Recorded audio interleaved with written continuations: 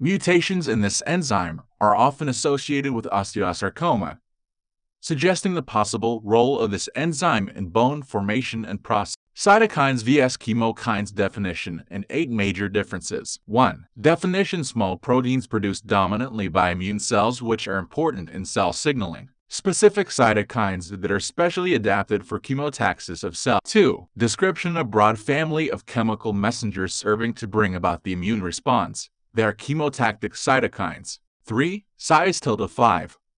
20k. 4. Classification cytokines include chemokines, interferon, interleukins, lymphokines, and tumor necrosis factor. Chemokines have been classified into four main subfamilies CXC, CC, CX3-5. Involvement in immunity involved in both humoral and cell-mediated immunity, involved only in directing cells of the immune system to a target site. 6. Functions help in signaling molecules mediate and regulate immunity, inflammation, and hematopoiesis.